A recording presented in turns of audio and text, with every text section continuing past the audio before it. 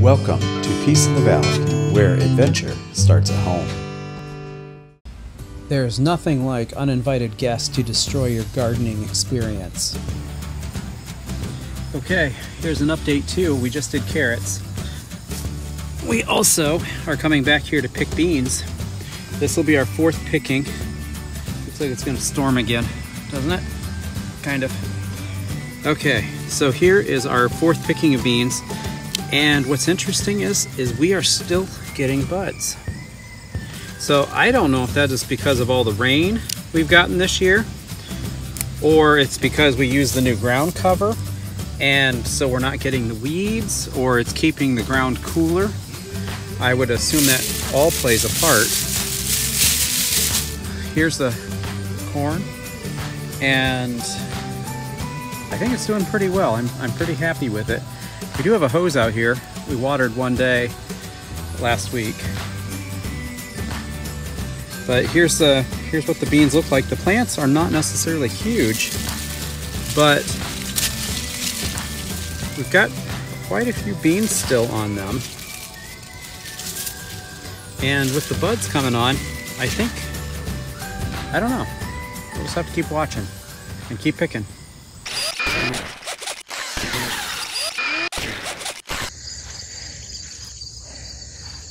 So this is the garden.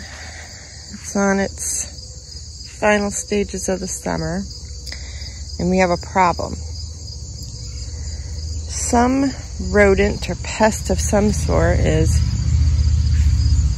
enjoying our corn without us. How rude. I don't believe I invited them here.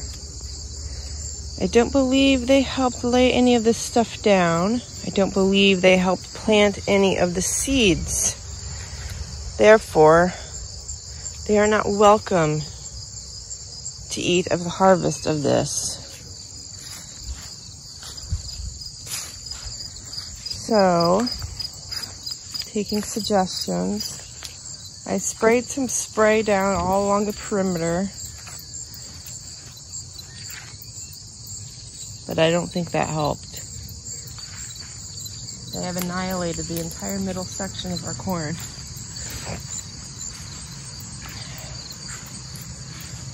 I'm thinking fence for next year. Poison. Problem is we can't even harvest because they're not big enough. Disappointment this year. Disappointment. Little bit of anger mixed in there too.